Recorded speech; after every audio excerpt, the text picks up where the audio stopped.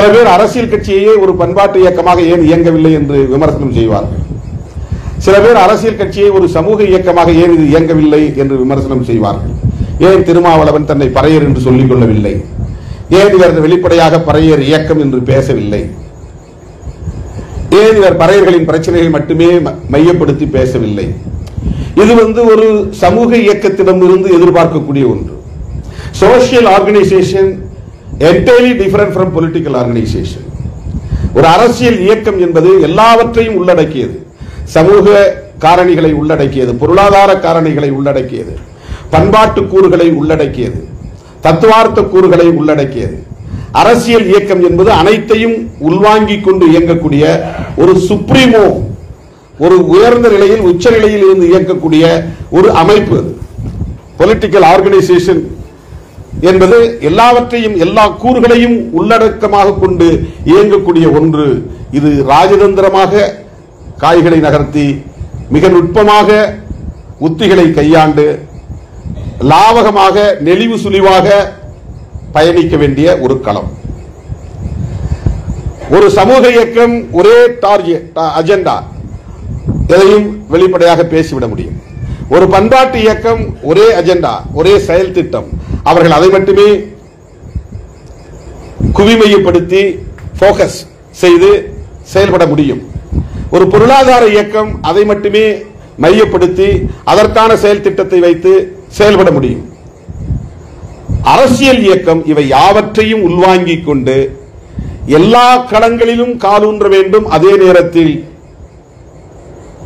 வீழ்ந்து போகாமல் சாய்ந்து போகாமல் வீரியத்தோடு முன்னோக்கி பாய வேண்டும். அதற்கு மிக சாதுரியமான உத்திகள் தேவைப்படுகிறது. மிக சாதுரியமான செயல் திட்டங்கள் தேவைப்படுகிறது. பண்பாட்டு இயக்கத்திலே ஒரு ஒரு முனையிலிருந்து எதிர்ப்பு வரும் என்றால் அரசியல் இயக்கத்தில் தொடக்கத்தில் சொன்னதைப் போல முன்னூத்தி அறுபது டிகிரியிலும் எதிர்ப்பு இருக்கும் விமர்சனம் இருக்கும். ஆக அதற்கு தகுந்த மாதிரி தகுந்தார் போல்தான் செயல் திட்டங்களை வரையறுத்து நாம் முன்னோக்கி நகர முடியும். நான் அடிக்கடி மேடையில் சொல்லுவேன் அங்குலம் அங்குலமாக வளர்ந்தாலும் விடுதலை சிறுத்தைகள் அழுத்தமாக வளரும் வளர்ந்து கொண்டே இருக்கும் என்று நான் சொல்லி இருக்கிறேன் அப்படித்தான் தோழர்களே இந்த இருபது இருபத்தி ரெண்டு ஆண்டுகளில் நாம் திமுக அதிமுக போன்ற ஆண்ட கட்சி ஆளும் கட்சி ஆகியவற்றோடு ஒரு உறவை ஏற்படுத்திக் கொள்ள முடிந்தது. அதையும் பலர் கொச்சைப்படுத்துகிறார்கள். ஏதோ பதவிக்காக பவிசுக்காக ஆசைப்பட்டு ஒன்று இரண்டு இடங்களுக்காக போய் கையேந்தி இருப்பதாக கருதுகிறார்கள். இது அவர்களின் அரைகுறை பார்வை. அல்லது ஏதோ ஒரு வகையிலான காழ்ப்புணர்ச்சியின் வெளிப்பாடு.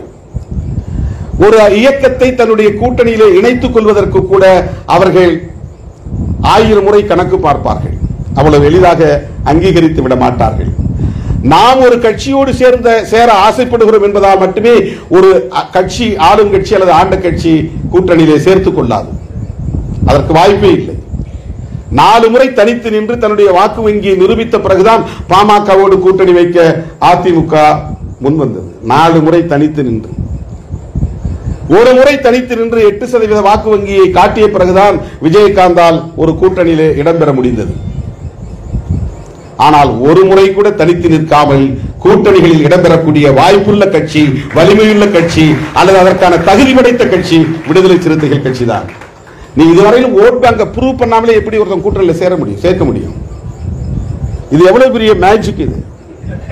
இது எவ்வளவு பெரிய எவ்வளவு பெரிய சாதனை இது? ஒரு முறை கூட நம்முடைய வாக்கு வங்கியை நாம் இதுவரையில் ப்ரூவ் பண்ணவில்லை. But everyone wants our alliance ஒவ்வொருத்தரும் நம்முடைய கட்சி கூட்டணியில் இடம்பெற வேண்டும் என்று விரும்புகிறார். இதை பாராட்டுவதற்கு யாருக்கும் மனமில்லை. இவர் ஏன் அங்கு போய் நிற்கிறார்? நான் தனியா நின்றால் கூட ஒட்டுமொத்தத்தில் சிதம்பரம் தொகுதியிலே நூறு சதவீத மக்கள் வாக்களித்தால் கூட மூன்று லட்சம் வாக்குகள் தான். வெற்றி பெறுவதற்கு ஐந்து லட்சம் வாக்குகள் தேவைப்படுகிறது. இரண்டு அணியாக நின்றால் மூன்று அணியாக நின்றால் நாலு லட்சம் வாக்குகள் தேவைப்படுகிறது. நூறு விழுக்காடு தலித்துகள் வாக்களித்தால் கூட மூணு அல்லது மூணரை லட்சம் வாக்குகளை மட்டும்தான் பெற முடியும். அது வெற்றிக்கு போதாது. வெற்றிக்கு மேலும் ஒரு லட்சம் வாக்குகள் தேவைப்படுகிறது என்றால் அதற்கு அலையன்ஸ் கட்டாயம் தேவைப்படுகிறது. நமக்கு ஒரு லட்சம் வாக்குகளுக்காக அலையன்ஸ் தேவைப்படுகிறது என்றால் ஆளுகிற கட்சிக்கு ஒவ்வொரு தொகுதியிலும் குறைந்தது ஐநூறு வாக்குகளாவது தேவைப்படுகிறது. அதற்கு திருமாவளவன் அல்லது விடுதலை சிறுத்தைகள் தேவைப்படுகிறார் இதுதான் பொலிட்டிக்கல் கால்குலேஷன் என்பது. ஆக விடுதலை சிறுத்தைகள் என்பது கட்டாயம் தேவை என்கிற ஒரு நிலையில்தான் அன்றைக்கு அந்த கால சூழலில் மூப்பனார் எங்களை கட்சியிலே சேர்ப்பதற்கான பீட்டர் அல்போன்ஸ் இல்ல அவர் வந்து தண்ணி குடிச்சிட்டார். அப்படிதான் சொல்ல முடியும். என்னை கன்வின்ஸ் பண்றதுக்கு படாத பாடுபட்டார். ஏன்னா நான் தேர்தல் அரசியலில் ஈடுபட மாட்டேன் என்கிற உளவியில் இருந்தவன் ஒரே ஒரு வேட்பாளரை நிறுத்தலாம்னு நினைச்சு நாங்க எலக்ஷன் எலக்டோரல் பாலிடிக்ஸ்ல அடி எடுத்து வச்சேன் சும்மா ஒரு மாதிரிக்கு. கடலூர்ல. ஒரு வேட்பாளரை நிறுத்துவோம் அப்படின்னு நாங்க முடிவு பண்ணோம். அவ்வளவுதான். அந்த நேரத்தில் எங்களை இந்த கூட்டணிக்கு கொண்டு போய் சேர்ப்பதற்கு பத்து முறையாவது கடற்கரையிலும் சவேரா ஹோட்டலிலும் நியூட்லைன்ஸ் ஹோட்டலிலும் என்னை அமர வைத்து பேசி பேசி அப்போது எப்- எப்படி என்னை சாய்த்தார்கள் என்றால் அல்லது சேர்த்தார்கள் என்றால் அப்ப தாமிரபரணி படுகொலை நடந்த நேரத்தில் பனகல் பூங்கா அருகே ஒரு உண்ணாவிரத போராட்டம். டாக்டர் கிருஷ்ணசாமி மூப்பனார் ஆகியோர் அமர்ந்திருக்கிற அந்த களத்தில் என்னை மூப்பனாரின் தூதுவர்கள் வந்து எப்படி பேசினார்கள் என்றால் நீங்கள் கூட்டணிக்கே வர வேண்டாயா உங்களை கன்வின்ஸ் பண்ண முடியாது. உங்கள் சமூகத்திற்காக மூப்பனார் உண்ணாவிரதம் இருக்கிறார் வந்து அந்த உண்ணாவிரதத்தை பார்த்துட்டு அதில் வந்து அவரை வாழ்த்திட்டு போங்கன்னார். அங்கதான் நான் ஸ்லீப் ஆகிட்டேன் எனக்கு அந்த சூது தெரியவில்லை சூழ்ச்சி தெரியவில்லை. நான் உடனே சமூக பிரச்சனை ஒரு மிகப்பெரிய பதினேழு பேர் கொல்லப்பட்டிருக்கிறார்கள். அந்த இடத்தில் ஒரு அதை கண்டித்து ஒரு ஆர்ப்பாட்டம் உண்ணாநிலை அறப்போராட்டம். அங்கே மூப்பனார் அமர்ந்திருக்கிறார். டாக்டர் கிருஷ்ணசாமி அழைக்கவில்லை ஆனால் மூப்பனார் அழைக்கிறார். சரி அங்கே போவோம் என்று போனேன். பக்கத்தில் அமர்ந்திருந்த ஜெயந்தி நடராஜன் அவர்களை எழுப்பிவிட்டு அவரது வலது பக்கத்தில் என்னை அமர வைத்த சில நொடிகளில் நூற்றுக்கணக்கான படங்கள் புகைப்படங்களை எடுத்தார்கள் பத்திரிகையாளர்கள். மாலை பத்திரிகையில் மூப்பனார் காங்கிரஸோடு விடுதலை சிறுத்தைகள் கூட்டணி வைத்தது என்று செய்தி வந்திருக்கிறது. அந்த படம் எடுத்து முதல் பக்கத்திலே செய்தி. அடுத்த நாள் இந்து பத்திரிகையில் முதல் பக்கத்தில் கலர் படம் போட்டார்கள். நடுவில் மூப்பனார் இந்த பக்கம் டாக்டர் கிருஷ்ணசாமி இந்த பக்கம் திருமாவளவன். மூன்றாவது அணி உதயம் என்று போட்டு விட்டார்கள் உண்மையிலேயே நான் அந்த உண்ணாநிலை அறப்போராட்டத்தை வாழ்த்துவதற்காகத்தான் சென்றேன். ஆனால் மூன்றாவது அணியில் இணைக்கப்பட்டு விட்டேன். மூன்றாவது அணி உருவாச்சு அப்படிதான் உருவாச்சு. இப்ப நம்ம தோழர்கள் காழ்ப்புணர்ச்சி கொண்ட தோழர்கள் இவர் போய் மூப்பனார்ட்ட நின்னாரு கையேந்தி நின்னார் அப்படின்னு சொல்றாங்க. இதெல்லாம் இதெல்லாம் வந்து அரசியலில் வந்து எவ்வளவு விஷயங்களை வெளிப்படையாகவும் பேச முடியாது. அந்த அங்கீகாரத்தை மூப்பனார் தந்ததால் தான் அடுத்து ஏற்பட்ட அரசியல் நெருக்கடியால் திராவிட முன்னேற்ற கழக தலைவர் கலைஞர் அவர்கள் ரெண்டாயிரத்தி ஒண்ணுல அவருடைய தலைமையிலான கூட்டணியில் விடுதலை சிறுத்தைகளையும் கிருஷ்ணசாமி அவர்களையும் சேர்த்து கொண்டார். ரெண்டாயிரத்தி ஒண்ணுல அப்படிதான் வந்து கூட்டணி அலையன்ஸ் உருவாகுது. ஏன்னா எல்லா கட்சிகளும் அப்ப வந்து அதிமுகவுக்கு போயிட்டாங்க. இது ஒரு இது இந்த வரலாறுக்குள்ள நீண்ட நேரம் போக விரும்பவில்லை. எப்படி அலைன்ஸ் உருவானது? அதுக்கு பிறகு நாங்கள் எப்படி அதிமுக போனோம் அப்புறம் ஏன் வந்து திருப்பி திமுக வந்தோம்னா ஒவ்வொரு முறையும் அவங்க தான் வந்து எங்களை கையாளுகிறார்கள். அந்த இடத்துல நாங்கள் வந்து தேவைப்பட்டோம் என்கிற நிலையில் விடுதலை சிறுத்தைகளினுடைய ஒரு அரசியல் முக்கியத்துவம் இருந்தது. எலக்டோரல் பாலிடிக்ஸ் என்கிற தேர்தல் அரசியல் களத்தில் விடுதலை சிறுத்தைகளின் தேவை என்பது அன்றைக்கு தவிர்க்க முடியாத நிலையில் நாங்கள் உருட்டி கொண்டு வரப்பட்டோம் இங்கும் அங்குமாக. அப்படித்தான் இந்த களத்தில் நாங்கள் இந்த இடத்திற்கு வந்து நிற்கிறோம். ஒன்று மறுபடியும் நான்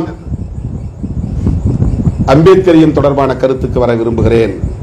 அம்பேத்கரியம் என்கிற சிந்தனையில் நாம் உறுதியாக இருந்ததால் தான் பத்தாண்டு காலம் தேர்தல் புறக்கணிப்பிலும் நாம் வீரியத்தோடு நிற்க முடிந்தது இன்றைக்கு இருபது இருபத்தி ரெண்டு ஆண்டுகளாக இந்த தேர்தல் அரசியலிலும் வீரியத்தோடு நாம் நிற்க முடிகிறது. இதற்கு நாம் உள்வாங்கி இருக்கிற அம்பேத்கரியம் தான் என்று நான் உறுதியாக நம்புகிறேன். ஏன்னா எனக்கு அதில் எந்த ஊசலாட்டமும் கிடையாது. எந்த விதமான உள்நோக்கமும் கிடையாது. நாடாளுமன்ற தேர்தலுக்கு முன்னால ஒரு மாதத்திற்கு முன்னால சனாதன எதிர்ப்பு மாநாடு நடத்திய ஒரே கட்சி இந்தியாவிலேயே விடுதலை சிறுத்தைகள் கட்சி தான் ரொம்ப சென்சிட்டிவான பாலிடிக்ஸ் அது. சனாதன எதிர்ப்பிலே கை வைப்பதற்கு பெரிய பெரிய கட்சிகளே அஞ்சக்கூடிய நிலையில் தேசம் காப்போம் என்கிற பெயரில் பேரணியை நடத்தினோம் மாநாட்டையும் நடத்தினோம். அதுல அதுல முக்கியமானது திமுக உட்பட முக்கியமான அரசியல் கட்சிகள் அனைத்தையும் கொண்டு வந்து அந்த மேடையில் அமர வைத்தோம். எந்த பின்புலமும் இல்லாமல் நமக்கு வந்து சப்போர்ட் பண்றதுக்கு ஆளே கிடையாது. ஏங்க நம்ம கூட்டணியில் திருமாவளவனை சேர்த்துக்கலாம் அப்படின்னு சொல்றதுக்கு திமுகவில் யாரும் கிடையாது. இந்த கூட்டணியில் நம்ம வந்து விடுதலை சிறுத்தைகளை விட்டுட வேண்டாம் அப்படின்னு ஜெயலலிதா அம்மாவிட்ட சொல்றது யாரும் கிடையாது. ஆனாலும் ஜெயலலிதா அம்மாவுக்கு திருமாவளவன் தேவைப்பட்டான்.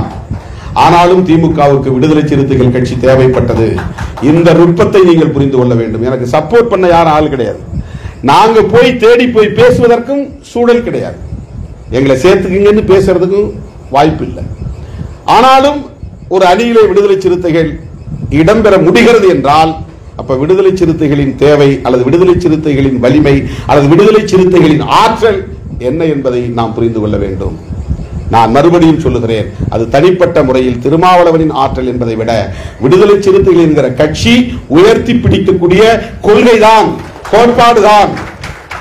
இரண்டாயிரத்தி ஒன்பதாம் ஆண்டு நடைபெற்ற நாடாளுமன்ற பொதுத் தேர்தலின் போது கலைஞர் அவர்களை பார்த்து காங்கிரஸ் கட்சி சொன்ன குற்றச்சாட்டை முன்வைத்து பத்திரிகையாளர்கள் கேட்டார்கள். ஐயா உங்க கூட்டணியில காங்கிரஸ் விசிகா இருக்கிறதா இல்லையா? காங்கிரஸ் வந்து அவர்களை வெளியேற்ற சொல்லி சொல்லிக்கொண்டே இருக்கிறார்களே. புலிகள் ஆதரவாளர்கள் என்று சொல்லிக்கொண்டே இருக்கிறார்களே. எங்களை வந்து கூட்டணியிலிருந்து வெளியே போகணும்னு சொன்னது காங்கிரஸ். இப்போ கலைஞர் அப்போ முதல்ல ஆஸ்பத்திரியிலிருந்து வெளியே வந்தவனே மருத்துவமனையிலிருந்து வெளியே வந்தவனே சொன்னார். எங்க சொன்னார்னா தலைமைச் செயலகத்தில் சொன்னார். எப்படி சொன்னார்னா பொடி வைத்து சொன்னார். இருக்கலாம் இல்லாமலும் போகலாம்னார்.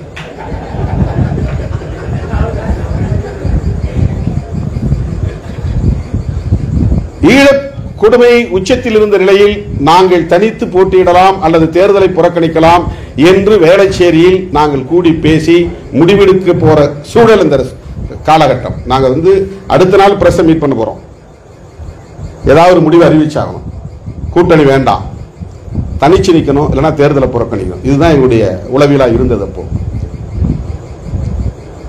ஆனால் அறிவாலயத்தில் அன்றைக்கு அவரை பத்திரிகையாளர்கள் சந்தித்த போது கலைஞர் சொன்ன பதில். மறுபடியும் அதே கேள்வியை கேட்கிறார்கள். விடுதலை சிறுத்தைகள் கட்சி உங்க கூட்டணியில் இடம்பெறுவார்களா மாட்டார்களா? அப்போது கலைஞர் சொன்னார் எங்களோடு தான் இருக்கிறார் திருமாவளவன். விடுதலை சிறுத்தைகள் பேசுகிற அரசியல். விடுதலை சிறுத்தைகளும் திமுகவும் பேசுகிற அரசியல் ஒன்றுதான். நாங்கள் பேசுகிற சமூக நீதியை விடுதலை சிறுத்தைகளும் பேசுகிறார்கள். நாங்கள் பேசுகிற சமத்துவத்தை விடுதலை சிறுத்தைகளும் பேசுகிறார்கள். நாங்கள் பேசுகிற பொது உடைமை அரசியலை விடுதலை சிறுத்தைகளும் பேசுகிறார்கள்.